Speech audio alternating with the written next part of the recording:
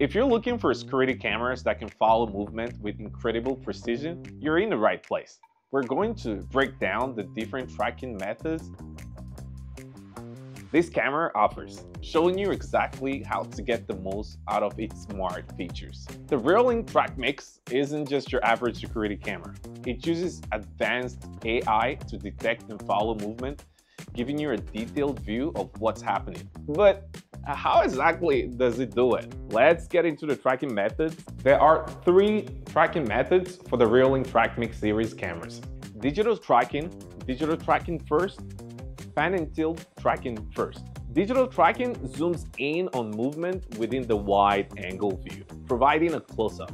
It doesn't physically pan or tilt. If the object leaves the wide angle frame, tracking stops. Great for detailed views within a fixed area. Now let's talk about digital tracking first. With digital tracking first, the camera initially uses digital zoom for a close-up. Then, if the target moves to the end of a wide-angle view, the camera switches to physical pan and tilt to continue tracking. This provides a detailed digital zoom followed by full pan and tilt coverage when needed. Now, pan and tilt tracking first. Pan and tilt tracking first prioritizes physical camera movement. It pans and tilts to keep the target centered in the wide angle view, providing continuous tracking across a wide area. So there you have it, a comprehensive look at the three tracking methods available on the Reolink TrackMix series. Choosing the right tracking method depends on your specific security needs. Experiment with each option to find what works best for your situation.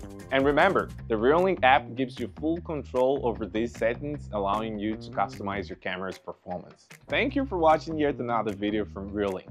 As usual, if you find this video helpful, don't forget to give it a thumbs up. And while you're doing that, consider subscribing and drop a comment down below on what you want to see on our next video. And if you have any questions about the Reolink TrackMix series, don't forget to also drop them down below. Don't forget to follow us on our other social media platforms and our TikTok.